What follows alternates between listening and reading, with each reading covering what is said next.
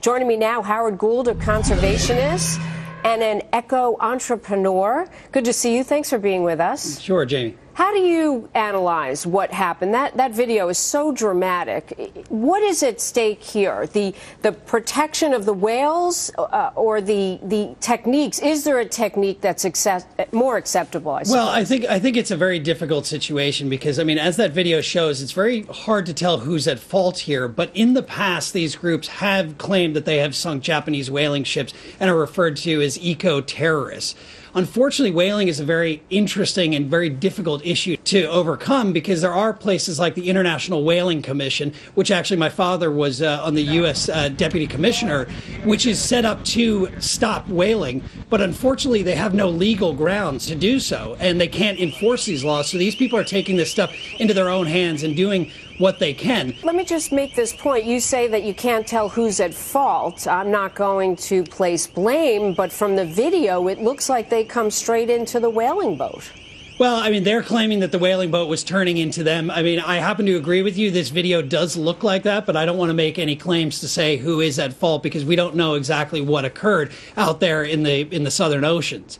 But when you talk about eco terrorists, I, I, think that their heart is generally in the right place, but unfortunately their actions are not. What and do you know about this group, though? In the past, have they caused uh, other collisions? I'm not going to issue a verdict on this one, but have they been involved in other aggressive activities before? And has anyone been injured? Well, they claim they have. They claim they've actually sunk 10 whaling vessels, not only Japanese, but also Icelandic and I believe some from Norway. So they're bragging about it. They, uh, well, essentially, they are in some ways bragging about it. They also claim that no one has been injured. But the fact is that destruction of property is still probably not the best way to go about this. And, you know, people taking more reasonable tasks, this should be something that they're looking at a little bit more carefully. I read an article that said that Greenpeace is separating themselves from these guys because they are a little too militant and violent about the way that they're going to stop whaling from occurring. Just give our viewers, whales are beautiful creatures. We enjoy watching them. We, are always checking out specials to see what they're up to. But how endangered are they? How important is it to control whaling?